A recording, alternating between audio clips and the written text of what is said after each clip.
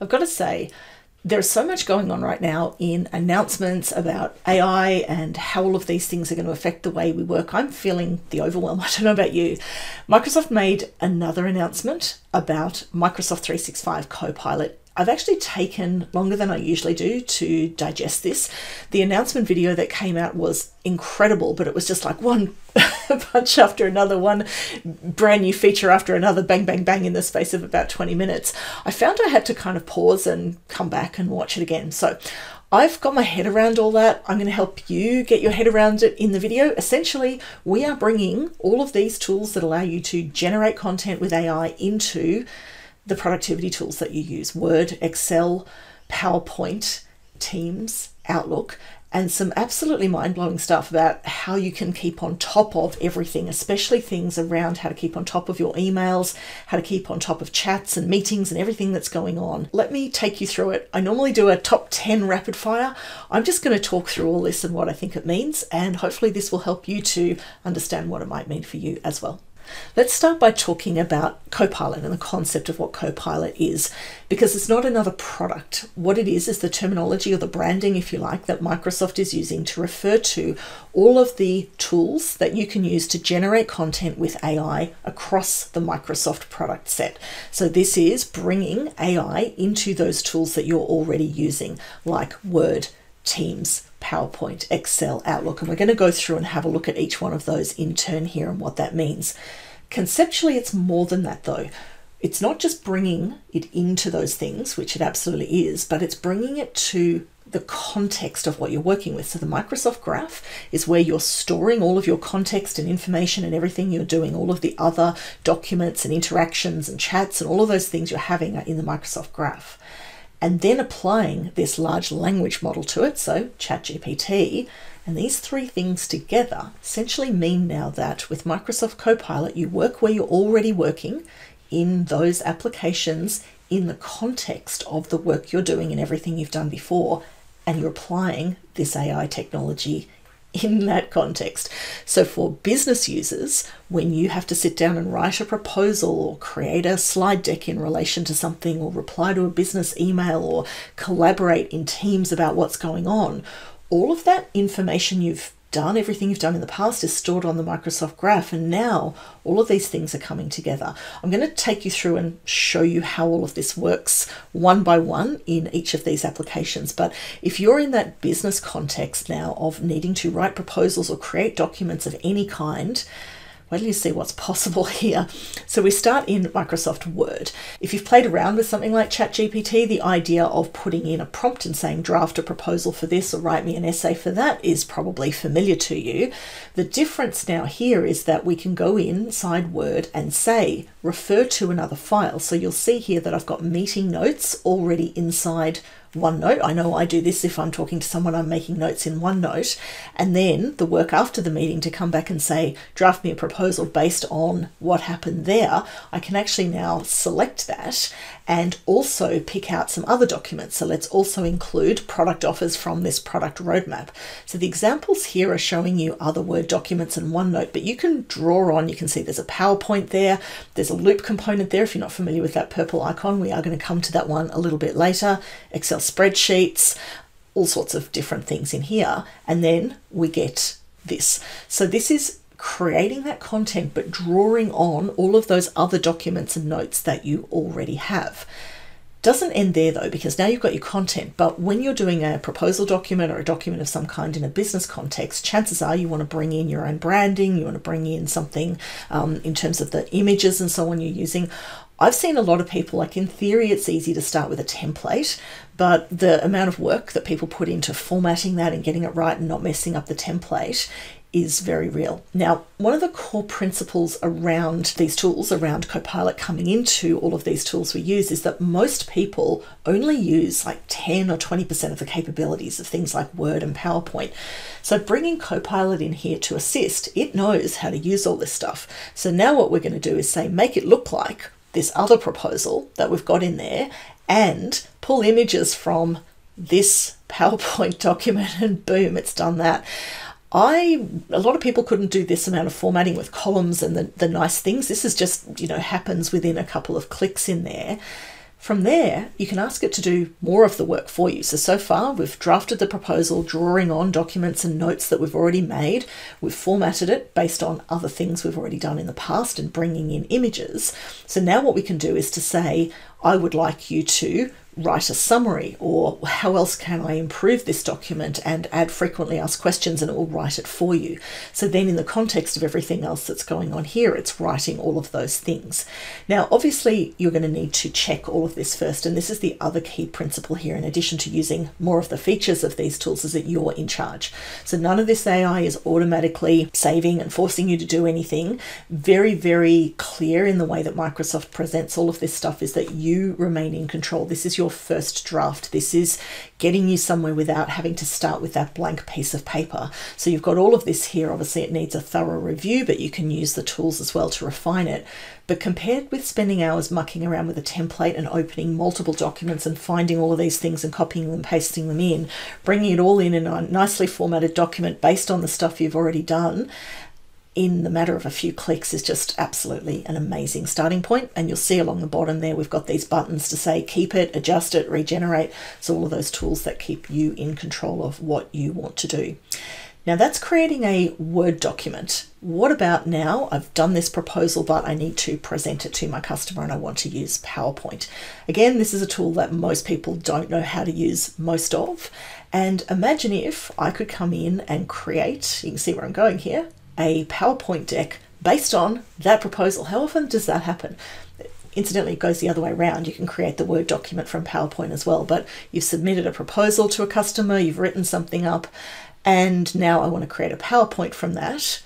There it is. So we're actually taking that Word document and all of those images that are in there, and now we've got, again, first draft of a PowerPoint deck. So maybe we want to add some more content we go through here and this all looks good, but I can go in here and say add a slide about the cost benefits of sustainable materials and it's created this frankly quite beautifully designed slide. I need to go through here and check some of the other content that's a bit wordy, make this slide more visual and move the text into the speaker notes. This is something I've done quite a lot manually is grab that and you know you want less is more on your PowerPoint slides, but I want to keep all those things as speaker notes and put it in there. There's the result of that. What about animations? How, how long do you spend? I know I do, fiddling around with animations. I want the images to come on the screen in different ways. I think there are a lot of people who just don't know how to use animations at all or don't have time for it. So now we can just say add animations to this slide and it will actually go through and put all of those in there and you can get it to generate your speaker notes for you. So now, again, in a matter of a few clicks, whichever one you've done first, your Word document or your PowerPoint document, you can use that to create the other one. So my end-to-end -end proposal situation here is to start with, I've taken heaps of notes in a OneNote.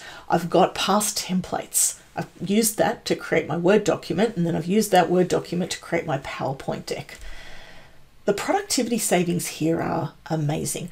I do start to wonder about what's going to happen as we go forward where organizations who do RFPs and things like that. Is everyone now going to be asking for an RFP with an AI generated uh, request? Is everyone going to be sending back their responses using AI? There's a lot of work that goes into making proposals and making responses, especially around those tender type processes. This is going to be really interesting to see if or how that changes that. It's certainly takes a lot of the work out of it. This should make that whole process a whole lot more efficient. But uh, at what point do we just get AI requests and AI submissions going back and forth? That'll be um, this is going to be a really interesting space to watch. Excel. Now we've got within uh, Power Platform the Power BI, which allows you to do a whole lot of analytics and so on. But watch what you can do in Excel now, because obviously this is still the most used reporting tool in the world. So typically we might start something like this. Here's my data, right, in all of those columns. That's great, but I need to understand it. And I think what a lot of people do is slice and dice and filter. Maybe if you're a bit more advanced, you've got a pivot table and you can do that. I know people who are good with pivot tables and adding charts and things. But again, I think most people probably don't even get that far or can't get much further than that. So this is again an instance of Copilot really lifting the ability of everyone to use more of the capabilities of the product and to help you step through a problem here. Analyze this quarter's business results and summarize three key trends. Boom, there they are. Now, everywhere again, it's transparent. You can click explain and it will tell you how it's come up with those things. So, you want to do that common sense check. Always do a common sense check on any AI tool. I've done some things already where you just go, so, you know, use these things as first drafts, don't just kind of take them blindly. So then we can go through and say, add some more analysis. Let's see what's going on. So it can actually show me a breakdown of what's going on. And now what it's done is created another sheet in my spreadsheet and given me a chart and a breakdown by product. Now, I could manually do all of these things with pivot tables. They wouldn't look as nice as that. Certainly wouldn't get the chart and two tables like that in a matter of two clicks. So now I still want to know more about what's going on. So I can ask another question. Let's get it first to apply some color coding to the table. So there's conditional formatting done for you. And what else is going on? I need to understand more about what's happening here to create a model for growth. What would happen if this hadn't been the case or that hadn't been the case? It goes through a couple of seconds, creates the model, produces a model for you to say, this is what would have happened if this growth rate had been equal to that growth rate, and this is how I made that model. So now, instead of just, you know, I want to filter and sort my sales figures and view them in a pivot table and create a chart, all of that has become a whole lot easier. But this what if scenario, what if that product line had sold at the same rate as this other one? What would that look like? And it's created that for us, given us the explanation of how it's created it. Oh, by the way, would you like a chart with that? Thanks very much. And so then we end up with this incredible kind of screen of all of these different bits and pieces that have been created. Now, what about email? Because honestly, email is one of those things that, you know, we've got our proposals done, uh, we've analyzed the sales figures and so on, but hands up if you really like wading through email, if you've got, you know, hundreds or thousands of things in your inbox and you just can't keep on top of it, which is a really common thing. So, this is a new feature, a way of using Copilot in Outlook, which is this catch up with Copilot. And you'll see what it's done here is given you a summary of what's going on. Now, I've already seen a few things starting to come through. When I look at Outlook, it'll say, you know, I can give you a, um, Viva is in there giving me a summary and reading my emails and so on. But this is a whole other level now of here's the catch up, here's what I've missed. And we're going to see this. Keep watching. I've got some stuff around how this is working in Teams, which brings together even more than just your email. So here's what you can need to catch up on. And I can go, all right, let's start the catch up. Here's the first email. Shay is asking if you can present at the supply chain all hands tomorrow. So that's cutting straight to the chase of what the ask is, and then I can go through and click next, next, next, and have a look at those. You can also do this in the mobile application. Here's the conversation summary. So if you've got a long thread, and I find this, if you've been away, if you've been kind of at a you know meeting all day or away for a bit, or, or just haven't kept up with your emails, what's going on with the conversation thread, and there it all is there as a summary of what's happening. And now we start to bring in this concept again of generating a response, but not just please write me a response to this person, please write something in and include the projected sales from this Excel document or include this other thing. So, that same concept we saw in Word of being able to refer back to those other documents you've got and bring them in to help you generate that email content. All of these things we do, all of these things we spend our time on every day of having to find information. This is this is what changes right now because if I'm writing this email back to someone, oh yeah, I've got that thing in that Excel spreadsheet and I need to refer back to my notes there and I can't remember where I put this other thing all of these things are just available to you and to pull that data in there this is just going to be incredibly efficient in terms of reusing the work that you've already done and this is this important part of the microsoft graph being part of all of this it's not operating just as generating content on its own. This is generating content based on the things that you've already got going on in your business. And there you go. Look at that. Like now we've got the information in there, the chart in there, good to go. And then the other features you might have seen before, similar to what we do in ChatGPT, make it shorter, make it longer, make it more professional, make it a poem. be an interesting one. Now, if you think all that's good, let's have a look at the really mind blowing part. That's like level one. When you come to collaboration, right, and you've got all of these tools available to you for collaboration with teams, you know, your chats and your meetings, as soon as you're having meetings online and recording them and you've got the transcription and so on, you think about how much data is there, the amount of interaction and content that's going on, and how hard it can be to keep up with all of that and to find things in all of that and to use it effectively. So, watch this. First of all, we start in Outlook, and there's a new option here if you can't attend a meeting yes, no, or follow inform the organizer that you cannot attend the meeting and get the recap. Now, this is again, if you think this through, this is great if one person can't join a meeting and 10 other people are there but if everyone starts going oh you know what? I'm just gonna i'm just gonna follow the meeting and get the recap it might not be a recap to have. So these these tools it's going to be really interesting to see how people start behaving with them. We apply that human behavior over the top of it and, and watch what happens. But anyway going with what the technology is going to be able to do i'm going to follow this meeting so this is what I get afterwards. Now, this is all dependent on it obviously being a Teams meeting where everyone's participating and you are, you know, getting that recording and transcript and so on. But what you'll be able to get, there we go, it's a 48 minute meeting. The content was the Proseware proposal. So that's a, a, a slide deck. Uh, there's a summary of what was said in the meeting. Here are the notes and here are the tasks. Now, if you miss a meeting, and presuming that everyone is still attending meetings and you just miss one occasionally, at the moment, I everyone asks for meetings to be recorded. At the moment, I you know this is something two or three years ago. No one ever recorded meetings. We just sit and talk to each other. Now everyone says, "Can you record the meeting?" Because somebody couldn't make it. That happens daily in in in the work that I do. So now I, I wonder how many people ever go back and actually watch the recording. I know that I come back, I miss a meeting. It's nice to know the recording's there, but in reality, I've got all of the other meetings and the other things I've got. If I've missed it, chances are I was double booked or I have to catch up on some other things. This, instead of sitting down and watching, like finding another 48 minutes in my day, and many meetings might not be you know critical to me to see what's going on this is this is incredibly useful but wait, there's more.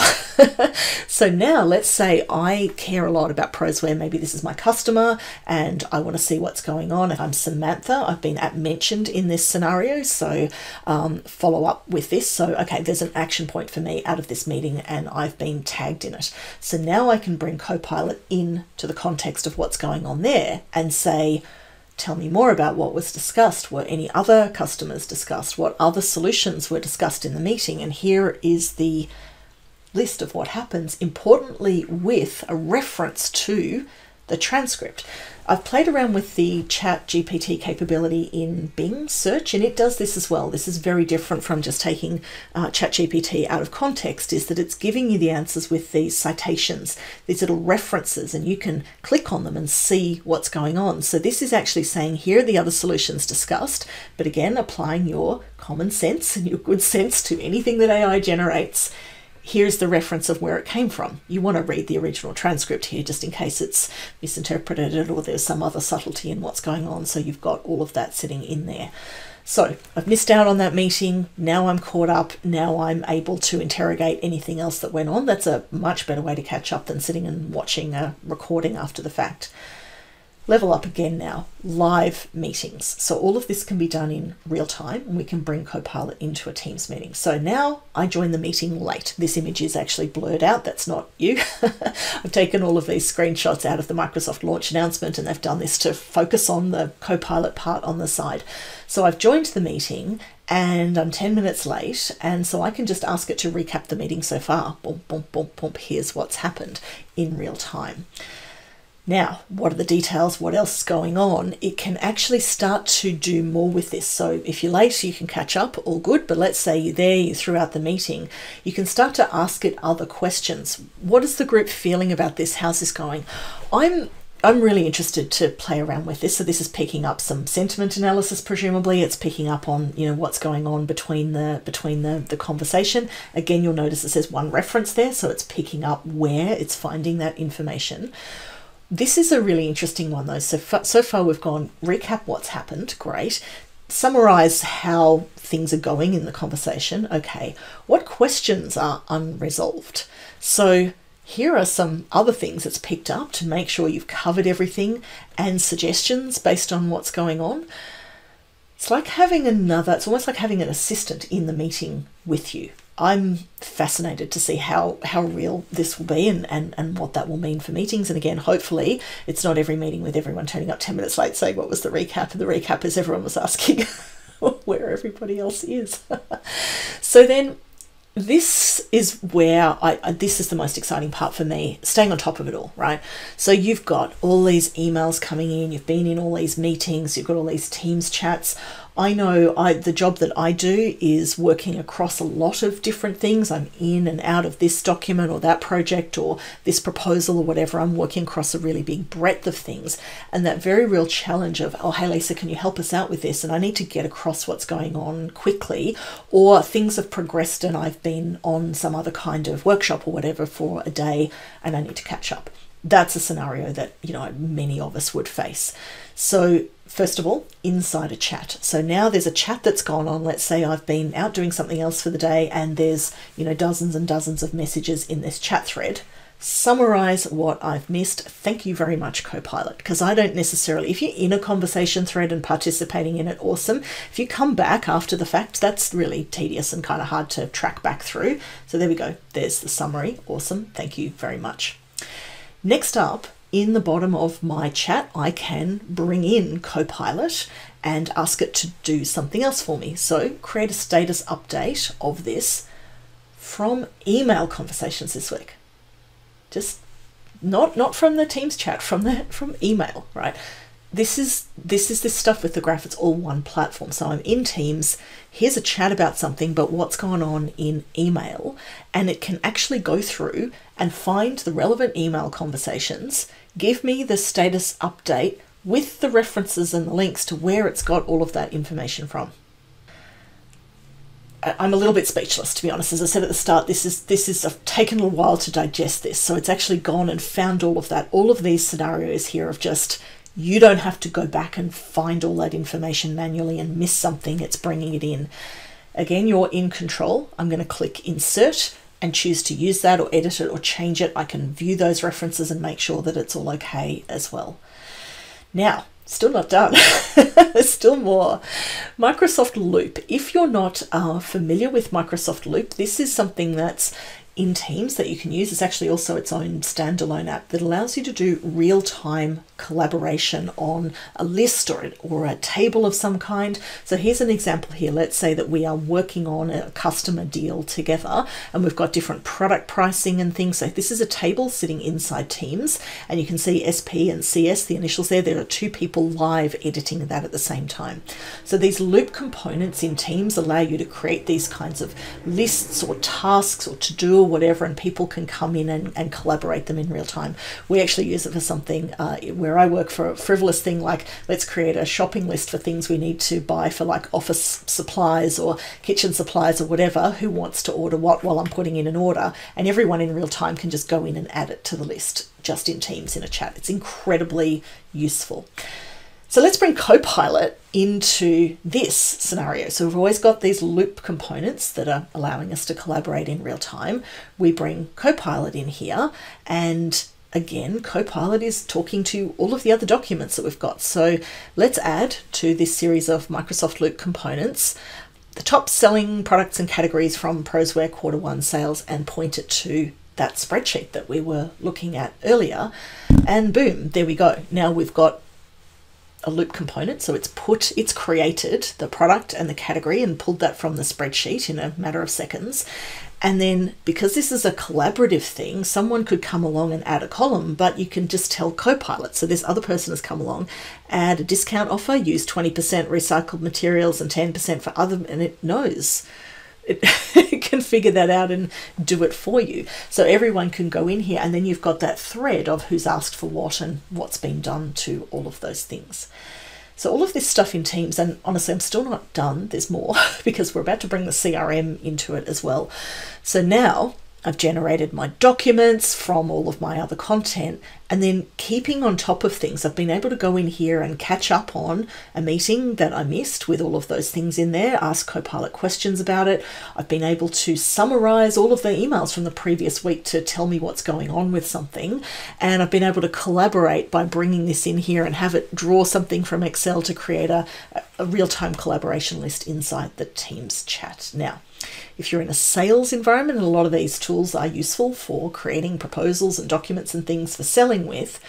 Viva Sales connects a lot of this stuff to your CRM, your customer relationship management system. And this works with Dynamics 365, which is the Microsoft CRM, as well as Salesforce. And a lot of organizations are using that. So step one here. now I'm in my Teams meeting, and if I've got Viva Sales connected to my CRM, first thing I'm getting inside the Teams meeting, so I join the meeting. Let's say here I could be the seller, or I could be a, a manager or a colleague who's been asked to support this meeting, and I might not have all the context, or I've jumped from one meeting to another and I haven't had a chance to prepare, you know, half an hour beforehand. How many times do we do that? Like that context switching is very real. So I've jumped on this call here's my summary, right? It's showing it here from Salesforce. Same thing if you're using Dynamics 365. So here is, it's connected to a particular opportunity. So that's what we're talking about. Here are the related contacts. Here are the other open opportunities and here's the account. So all of that is available to me. Now what I can do, very similar to what we saw earlier with catching up on the Teams meeting and so on, let me catch up on this. So, you know, the, the person has started the call and I'm going to catch up on what's going on here. It's giving me the summary again with the references to where that's come from, and that's pulling that directly from my customer relationship management system data. There we go. Now, what if I want to know about the competitor? Someone mentions a competitor on the call, get competitor information because you don't necessarily have all this stuff in your head. And this is pulling that from your sales materials. So the more you're populating your organization's data and the more you've got all of that saved in your CRM, in your documents, and in your collaboration and your chats and your emails, you think of how much information is there. And now it's drawing on all of that. And here is the summary of what we know that's going on there. This is particularly useful if you've got a piece in your CRM on competitors and multiple people are adding information in there, you might know what's in your head. But in terms of being able to collaborate and bring that in in real time in the meeting, by the way, this is happening.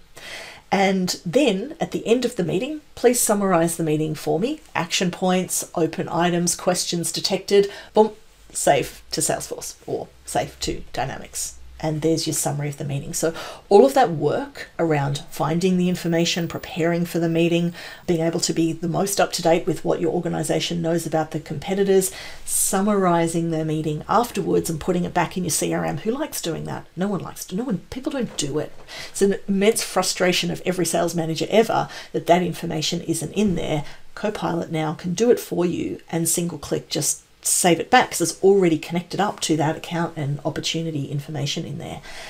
And then you want to send it to the customer. Let's follow up with a proposal. We're getting right back to where we started from now. Follow up with a proposal, draft this. It's going to bring out the information that we got from that Teams meeting, insert. And of course, if you prefer, right back to where we started with Word and so on, you can come in and bring in other documents to help you with that. One more thing. Look at this once the customer replies to you and says, okay, yes, thank you, we'd like to go ahead, it detects that and gives you, remember the conversation summary in Outlook of what's going on, and suggests that you close as won in your CRM system and there's your Viva Sales panel on the side of Outlook with all of the information, and you can click Close as won. You do not even have to go into Salesforce to do any of this or into Dynamics to do any of this.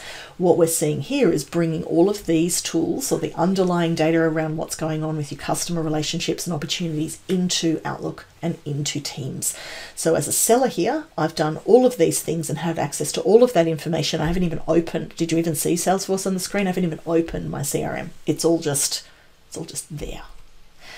Now, what if I want to automate something? Now, this is getting into Power Platform. If you're not familiar with Power Automate, this is a tool that allows you to do a trigger, and action style of workflow, making it easier, again, making those tools more accessible to everyone. So, this is a drag and drop interface where if you know what you're doing, you can go in and say, you know, if this thing happens, here's a trigger, and I choose my options, and then here's my flow of the actions. Now, natural language. Create a private Teams channel in customer service when an urgent support issue from Proseware is received. So now we're next level. We've won the deal. I want to make sure that if any urgent issues come in, this is getting flagged in Teams and marking it for the right people. So there's my natural language query. I don't even know anything about how to use this and I can do that and it will generate a suggestion. So you'll see what it's doing here is saying when a support issue comes through, this is coming through, say, from your customer service system, then get the account contact. So this is working across different systems. The new support issue is coming in from a Microsoft Dynamics customer service system. The action is getting the contacts from the Salesforce system. Then it's getting my profile from the Microsoft Office area, finding a Teams channel, creating it, and, and so on. Like it's connecting to about five different things in here and working across both Microsoft and non Microsoft systems if that's what you want to do. And then it creates this, but we've brought Copilot in here. So normally with your flow, you'd be able to say, yep, when this happens, do those things, create the channel, all of those things, add the message. But with Copilot now, how about we summarize and find things? So these are actions that we've got in here, and I didn't even need to create them. After the channel is created, post a summary of the support issue that requests help, tag the contacts for departments most likely to be relevant. So now we are automating the collaboration of the support. But as somebody, I don't need to be technical to be doing this. I've asked it a natural language question. It's created that for me. I've asked it to enhance it. And Copilot has thankfully, helpfully added summarize the issue with GPT, determine the relevant contacts, and post the message to the channel. Thanks very much. This is what happens. So now an issue has been raised, and in Teams, it's created a private channel underneath that customer and there is all of the details summarized by ChatGPT. And it's found the people and tagged them, and then someone's jumped in there to see what's going on. So there's a lot, as I said at the start, there's a, there's a lot here.